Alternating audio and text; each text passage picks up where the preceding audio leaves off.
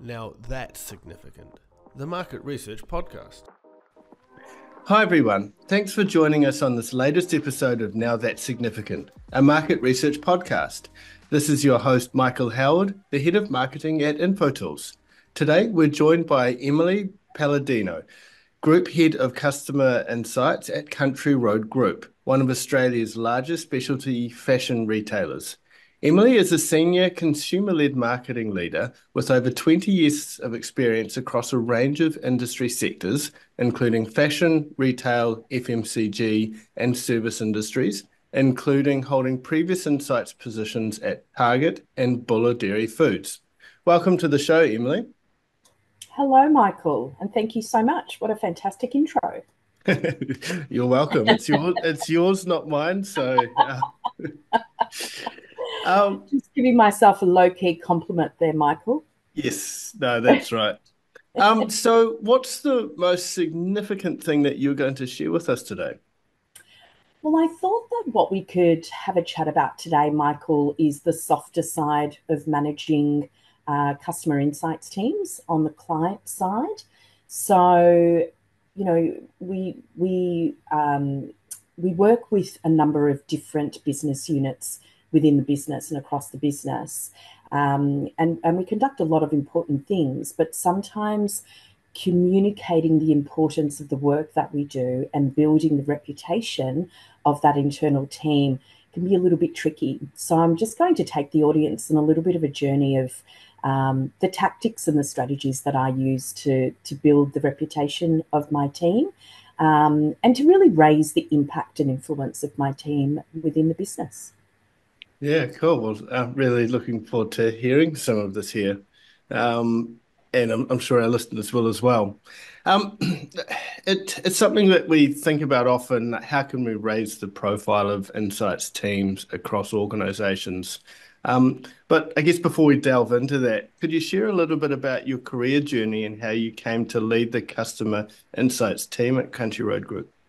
Sure. It's been uh, quite a journey. And I know that when I speak to other customer insights practitioners um, in the outside world, you know, outside of Country Road Group, they'll say that a lot of them will say that they fell into customer insights by accident, but I think mine was a little bit, my path was probably a little bit more structured than that.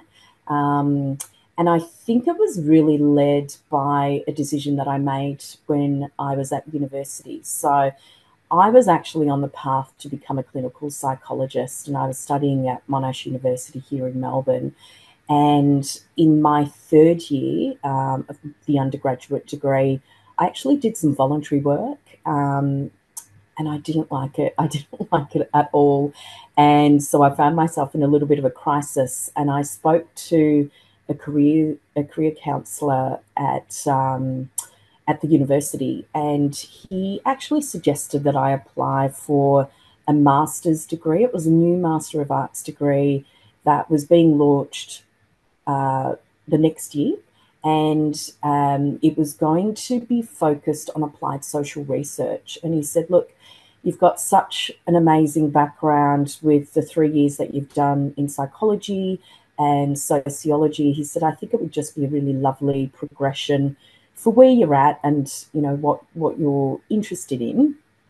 And so so I did that and that's when I was really introduced to social research and I became a little bit hooked Michael. So um, I moved into so I did that degree and then a few years later I moved into marketing as well. So I, I, I did start working for a market research agency initially, and then I worked in, uh, moved into marketing. And so I had already, I guess, become used to and got the experience from a back of house perspective. So insight, strategy, and planning. And then I moved into a front of house sort of um, environment. And that's when I got used to communications development and creative development as well.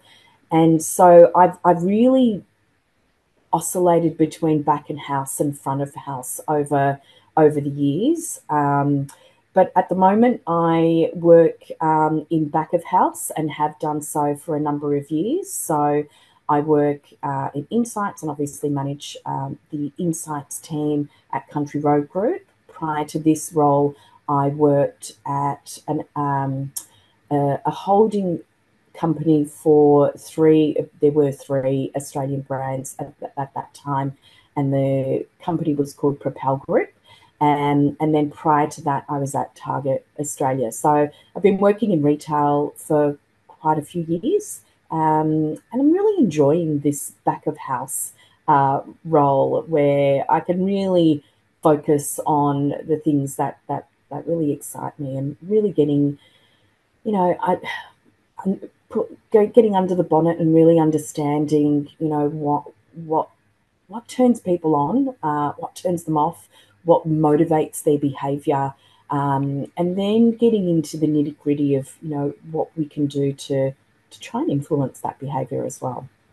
Mm, yeah, some really interesting challenges. Um, from a motivational perspective, I guess um, it's often the front of house, um, those that are at the in the front that typically get all of the, the fame and the glory, don't they? But it's the they back sure of house. Do. It's the back of house that really enables it, isn't it? Absolutely. I mean, you know, I, I, have been quite fortunate, I think, in my career that I've worked in companies that really value the work that we do. Um, but gosh, you know, when you, when I, because I worked agency side for such a long time, that's what, what I forgot to mention. I actually worked agency side for years and years before I got into client side roles. So I only moved client side about probably about 12 years ago. But prior to that, and the bulk of my career was actually agency side. And sometimes you'd work with clients you know, who was you could tell were just on struggle street. You know, they were trying so hard to influence their internal stakeholders as well. And um, as you say, you know, um, the back of house doesn't always get um, the recognition that for the work that we do. So I, have seen it firsthand. It can be really tricky, but um, but to my point earlier, I, I guess I've been really fortunate because I've, I've I've seemed to have landed in in companies that really value what we do, which you know makes our job just a little bit easier, which is great. Mm. But you still need to foster that, though, don't you? You can't just oh, yeah. take it for granted. Absolutely, absolutely. Developing those relationships, um, building the profile of your team, um, constantly almost pushing yourself to be involved in the decision making and those conversations that are taking place across the business is um, it's a full-time job michael yes so um, when there are um, financial downturns, there are often um, some restructures that take place. Some people move on to other roles, mm. and teams need to rebuild themselves. Um, so, for anyone out there looking to do this or in the process of it, what are some of the most important qualities you'd look for when trying to establish a, a high performing insights team?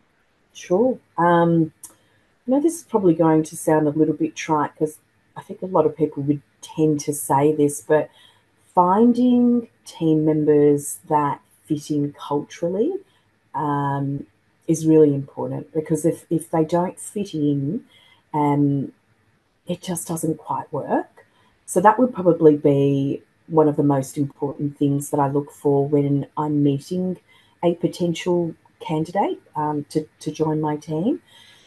That's not saying, though, that all of my team members are the same um, because they're not at all. They all come from completely different professional backgrounds um, and personal backgrounds as well. They're all completely different.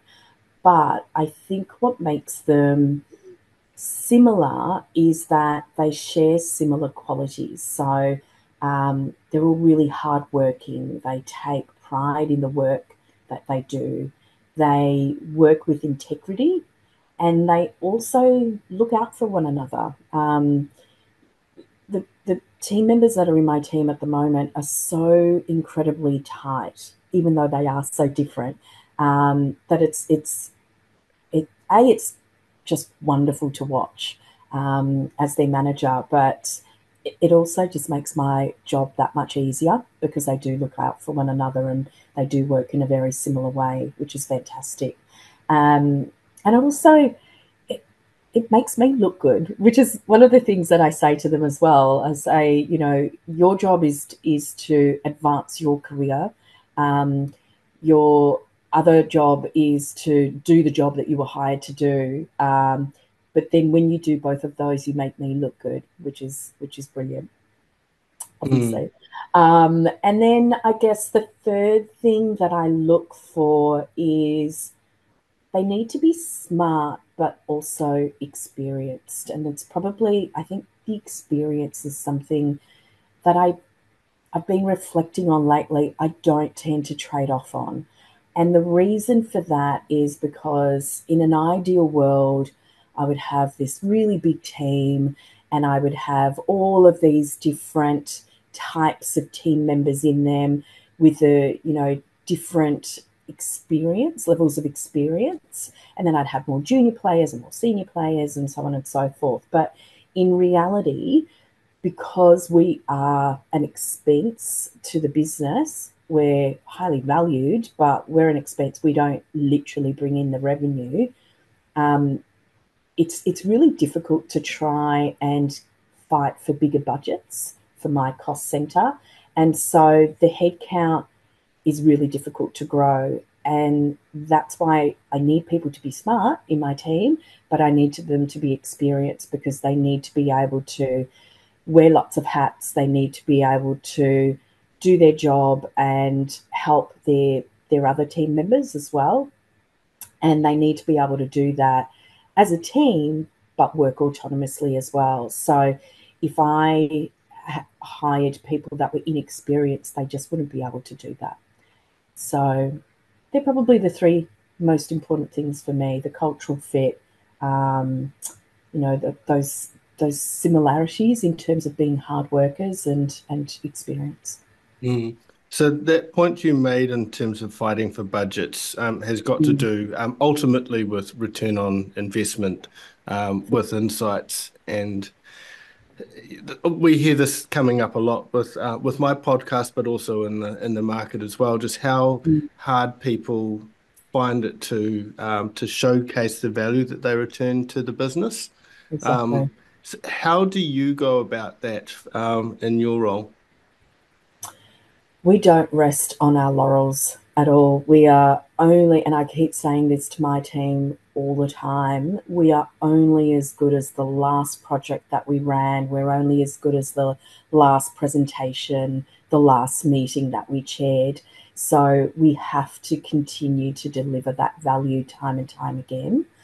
Um, but just taking a few steps back from that, um, I think there's a few things that you need to consider when you are setting up a team within the business.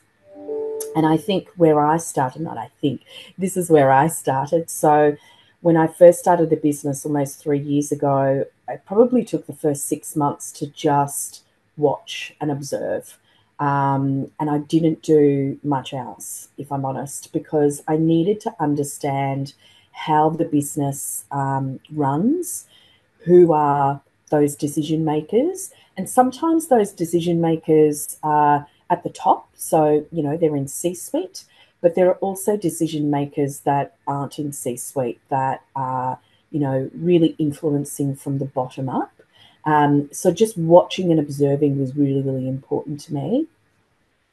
The second step that I took was really to um, interrogate and I guess ascertain what the ideal scenario would look like. So what what what did my team need to look like and how did how do we need to behave and what are the sort of projects that we needed to deliver in order to not only deliver to the needs of the business, but also to ensure that we could demonstrate, you know, what what we could really do.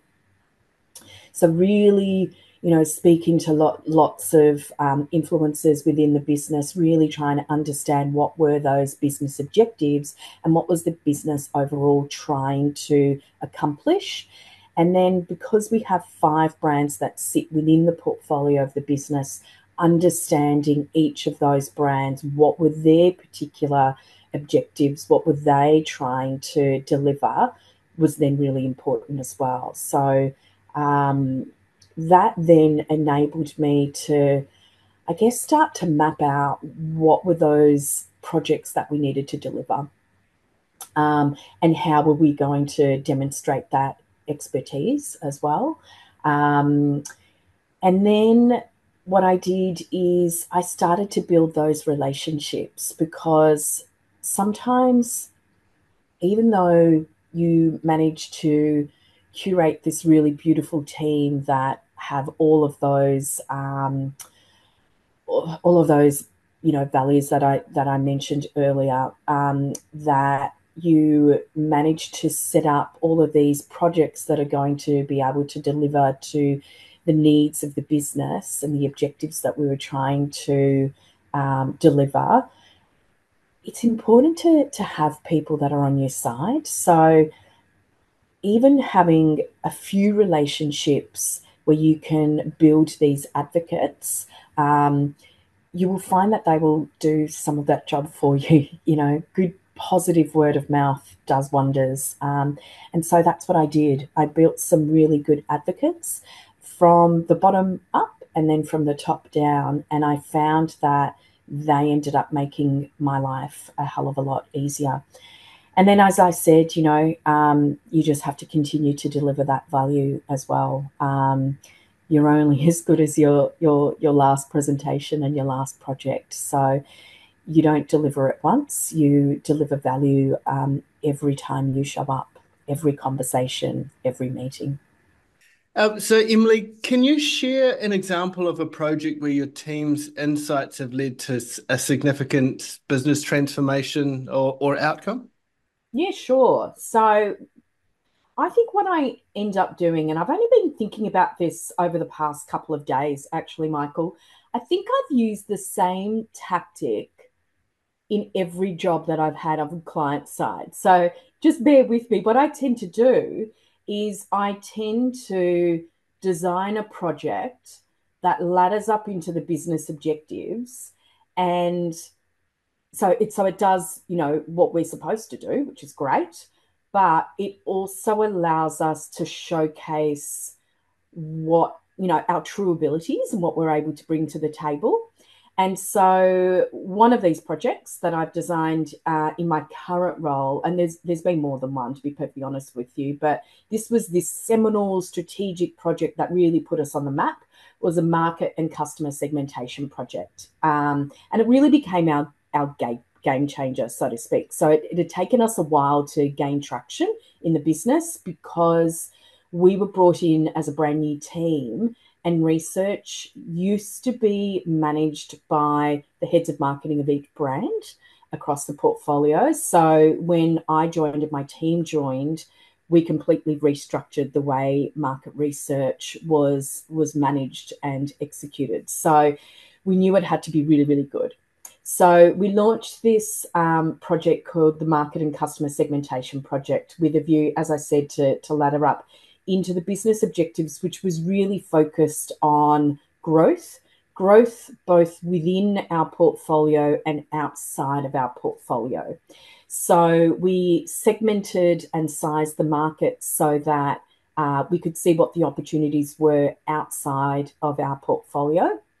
We then um, mapped our brands onto the market to see how our brands were currently positioned so that we could do a couple of things. One is we could calculate what the headroom was between what we were we were currently doing and, and achieving versus what those opportunities were to grow the base with additional customers sitting outside of our customer base. But we also um, looked at how we could optimize the brands to grow um, from within, so increase that share of wallet as well. As a result, we identified the white space so that we could develop an acquisition strategy for the portfolio, which is fantastic. We identified the headroom for each brand um, so that we could refine the brand strategy for, for each brand. And then we repositioned three of the five brands within our portfolio. This took about two years from um, design and inception to, to delivery.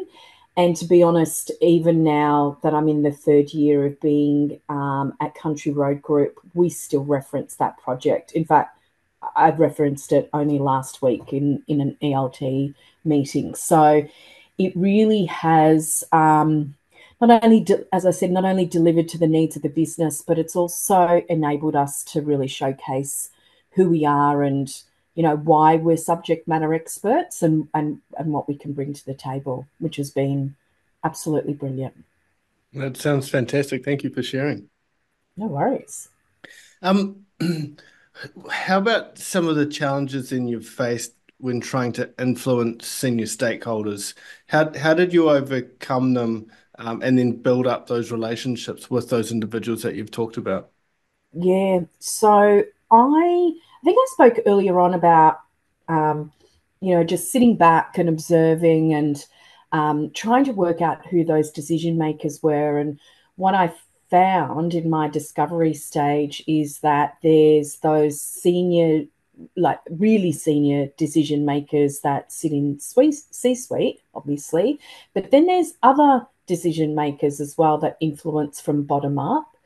Um, so that was where I actually started. Um, so I started with the heads of marketing and the heads of digital, and it was because I had had those roles before in in previous lives that I was able to actually speak their language, and so um, gained some really good advocates at that level. They actually then did some of that hard work for me because then they spoke to their managers who were in C suite and were like, "Hey, you know what?" this Emily chick is actually all right. She knows what she's talking about and she's she's built this really good team. And so they did a lot of that hard work for us initially, which was brilliant. Um, and then I and then I switched it and and um, and started influencing top down. So that's when I started to get to know their managers, um, who are also in C suite, and and started to speak to you know the CEO and the CFO and start to speak their language as well. So I kind of attacked it from both from both angles, if that makes sense. Mm. Um, but the biggest challenge though was um, just trying to prove myself initially and try and get in there and elbow my way into meetings so that I could start having those conversations. Um, finding time in everyone's you know, super busy calendars was another challenge.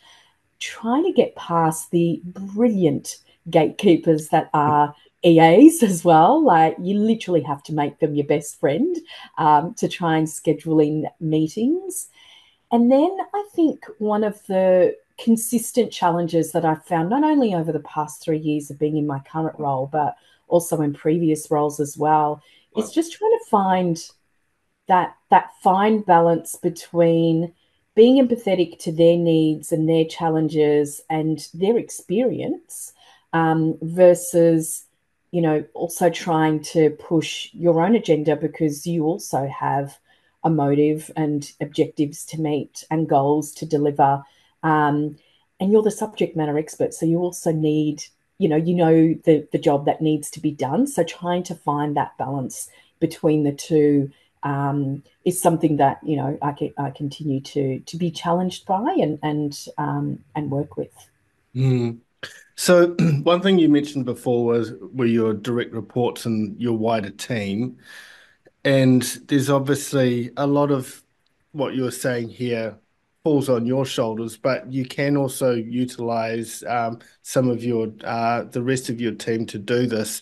They've obviously got um, ambitions to grow and and to become the next you um, to to make yourself redundant in, in one right. sense so you're you're helping to grow the next generation of insights leaders exactly. how how are you trying to encouraging and mentoring them and getting them exposed to these kinds of challenges as well yeah you're absolutely spot on michael one of the parts of my role that i take actually the most seriously is making sure that I coach them to be the best that they can be and coach them to get the best out of them as well. and um, and look for those opportunities so that they can shine. So I have organised one of the first things that I did actually was organise uh, quarterly presentations where my team gets an opportunity to actually showcase who they are, what they know, um, and what they can bring to the table. So that was one of the very first thing that I did, and I'm constantly looking for those opportunities. So we still deliver those quarterly presentations. Um, we uh, I've organised sessions for them to be able to deliver to um, ELT. I've looked for opportunities for them to be able to present and deliver to the whole business as well at town halls. So, and they, they're also now involved in an internal training program where they introduce what it is that we do, customer insights, to um, to new managers within the, across the business, and then from an onboarding experience as well as people join. So I've I've I've set them up to be those subject matter experts across the business. And it's as i say something i take very seriously and and something that i'm really quite relentless with. Um, so you know demonstrating my value is a minor part of the job um, but making sure that i set them up to take my place is actually the most important thing that i do. Yeah it sounds a, a fantastic um, bit of work that you're doing and a great um, approach to your work. So, uh, on behalf of your colleagues, I thank you. It's awesome oh, to hear. Thank you. mm. um, how do you see the role of consumer insights evolving inside client side organizations over the next few years? I think we're going to continue to be those strategic partners that key decision makers partner up with um, in years to come. And I don't know whether I've just been really lucky in my client side roles where I have found myself in companies that do really value what I do and what my team does, um, or or or maybe it's a little bit of that and a little bit of the fact that I'm so relentless at you know um, making sure that we do deliver that value. But either way, um, I consider ourselves to be really, really crucial to the business. Um, we feed into all of the strategies from a business perspective and from a brand perspective, product, digital, customer, like the whole the whole gamut. Um, and so, in my view, we will only become more and more important as the years um, as the years, years go by especially in this really, really tricky macroeconomic time that we're we're living through at the moment. And uh, I know being, you know, working in retail, we're we're really feeling the brunt of it. But I don't think it's ever been more important to understand what the market looks like, who the competitors are, and what they're doing, how they're behaving, how they're performing, um, who our customers are, what turns them on, what turns them off, what motivates them, and and what's going to get them to choose us over our competitors. Like we are, we're a small team, but my God, we churn through a lot of work. Like the amount of work that we not only deliver proactively, but are asked to participate in is pretty phenomenal. And I don't mm. see that stopping anytime soon. Yeah, cool. And do you do you see much of a, a external partnerships being a big part of that as well, or do you do you see the internal team taking up a lot of that, um, uh, the the firepower, as it were? Yeah, good question. I would say it's both. We've got some phenomenal external party uh, partners that, you know, they're they're not vendors. Um, they're not agencies. They're actually partners, and they're an extension of our team. We've spent a lot of time getting them on board we, we continue to spend a lot of time keeping them up to date with what's happening in our business so that so that pardon me um, everything that they do comes from a place of knowledge uh, rather than second guessing themselves so having those partners is is crucial to what we do um, but similarly, you know, we've, because of budgetary constraints, which again aren't going to let up anytime soon, we've had to bring in a lot of things um, in house as well. So we built a market research online community a couple of years ago, which are nothing new. They've been around for over 20 years, but um, we uh, it, it, was the first time that Country Road Group had had one, and it took a long time to get off off the ground because they the business just couldn't understand why we thought it was so important, and and now we run so much of our bespoke research projects, like smaller, um, more agile research projects through the community ourselves. Um, but we also run our own cost of living tracker um, that we've been running now for, for close to nine months. And we run it ourselves via the community because we've got over 8,000 of our customers in there. And our customers used to, before, you know, cost of living just became ridiculous, um, used to actually behave in, in, a different way to the way external consumers be, have been behaving for some time. And so we needed to get in there and just understand why were our customers behaving a little bit differently. So, um, you know, that, that's been another seminal project for us. Um, that's really uh, got us a lot of um, attention across the business as well. So being able to, I guess, swing between the two, having really good external suppliers, uh, suppliers, my goodness, I've used that word, external partners um, that really understand what we do and can deliver what we need when we need it. And, and then counterbalancing that with um, managing a lot of work in-house because we have to is, is, um, is really important and again, yeah. not something that I see letting up anytime soon. Absolutely, and um, having primary data, um, you can't you can't ever really get enough of that, can you?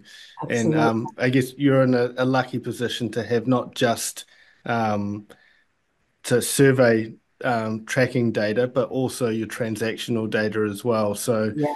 being able to to mix uh, methods and, and data sources together um, puts you in a in a in a good spot, doesn't it? Yeah, absolutely. So I've got I've got three different streams that sit in my team. I've got one one stream that focuses um, more on you know the macro um, data that that comes in that's available to us ver- via various subscriptions. So we're constantly keeping abreast of what's happening from a cultural insights perspective and also just from a macro level at, at all sort of levels. So we know what's happening globally as well as what's happening in the Australian market. We've got a second stream that um, really focuses on on research, um, both the research that we conduct internally and then research that we commission our partners to do um, externally for us. Um, and then we've got an analytical um, stream as well, and that team deep dives into our databases, which are enormous. Um, thanks to our fantastic loyalty program. So we've got four loyalty programs that have been running for quite a few years. Um, and so we've been able to build quite significant databases through that. And we've been running another one um, for one of our smaller brands probably about 12 months. And so that's been slowly building as well, um, which again gives us access to those customers so that we can um, as you say, not only understand what's happening at a macro level, um, but then also speak to our customers to understand what their motivations are, and then deep dive into that behavioural data to to close that say do gap as well. So um, we're quite fortunate in that way. Mm. So, um, what advice would you give insights professionals who want to make a significant impact in their organizations? I would say um, make sure that you are aligned to those business objectives because um, you can get you can get excited about a whole bunch of projects that aren't actually going to turn um, turn the needle on anything that's really important or pertinent to the business. So make sure that what you're doing does ladder up to those business objectives. Um, deliver, um, and I know that sounds weird, but it's really easy to get excited about new projects.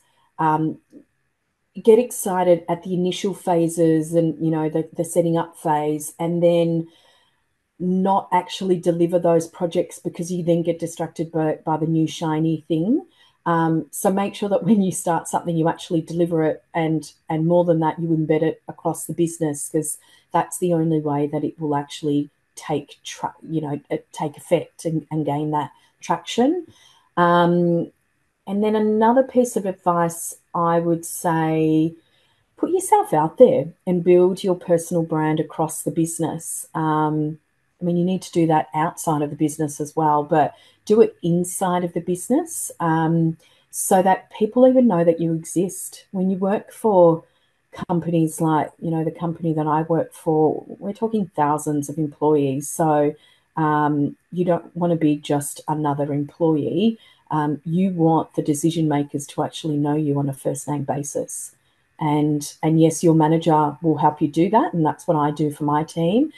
But they also need to do it for themselves. Um, and, and they become very good at PRing themselves as well across the business, which is important.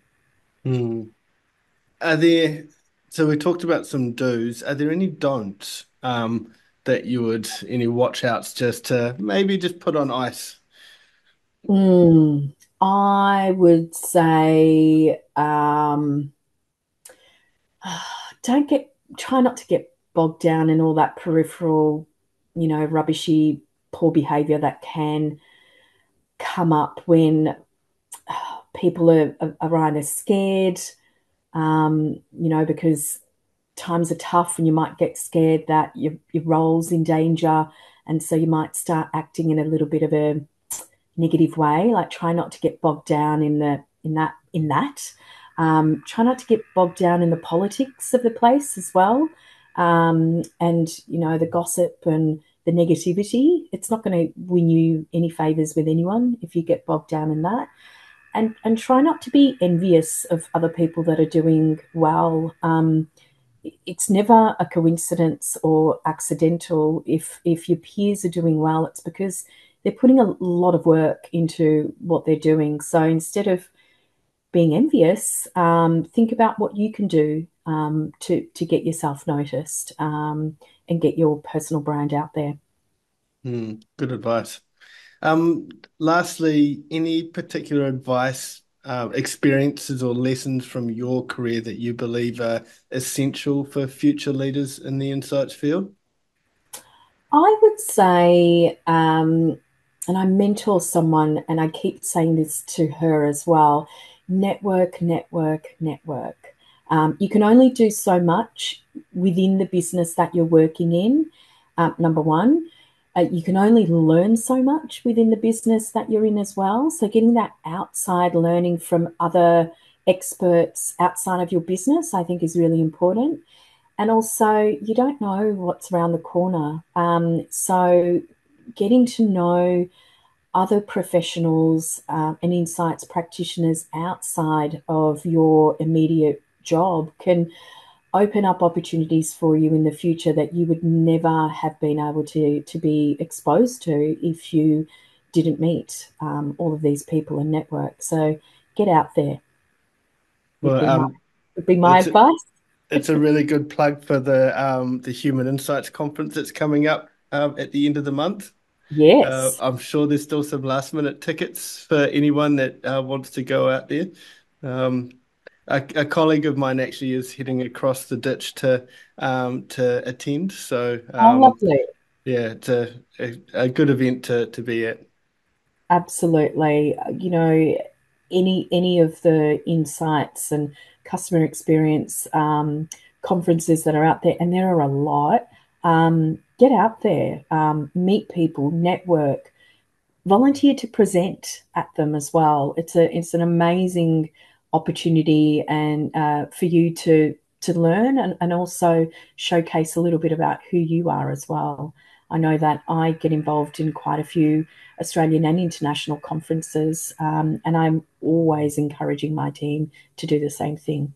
Mm. So, just quickly on that, then, Uh, mm. Some people think that they can't present at those because what they have to say is confidential, sensitive information. Sure. How how would you um, sort of uh, combat that or um, address that particular issue? Look, it depends on on where you work and and you know what what sort of information you're able to share. I know that in my roles, I can't. Um, obviously can't share anything about you know sales and revenue or give away any um, any trade secrets as such, um, but you can um, you can share some of those experiences as, as, as long as you're not giving all that sensitive information away. Um, and you can also you know, you, you can also share opinions. Like that's always valid. Um, it doesn't have to be linked to your particular current role. You can share your experiences in terms of, you know, how you've set up teams. It's similar to what we've done today. Mm. Um. That's not giving away trade secrets. That's that's my IP, if anything. Um, so you know, you're still able to to share experiences. Um, and if you want to showcase particular projects, then just bring it to your corporate affairs manager and, and make sure that you're still able to, to deliver a really good presentation that others will find useful, but still do that within the constraints um, set by your business. Absolutely, great words. So, um, as I say, this as well, um, we have a um, research effectiveness awards um, in New Zealand, which is um, is currently accepting uh, nominations or uh, entries. So uh, some good advice for, for people there too. Great. So, um, look, thank you so much for joining us on the show today. I Really enjoyed hearing uh, your inside perspectives um, on building um, an insights team. And I hope this has been really encouraging to others in the field, those that are going through the process or those that one day might be able to lead that as well. Um, very appreciative of it. Absolute pleasure. Thanks so much, Michael. And thanks, everyone. That's right. And if you have enjoyed what you've heard today um, or had any questions uh, for Emily, feel free to reach out to her on LinkedIn. Um, welcome to share this episode with others as well. Uh, leave a review or even subscribe to the podcast. So until next episode, thanks for listening to Now That's Significant.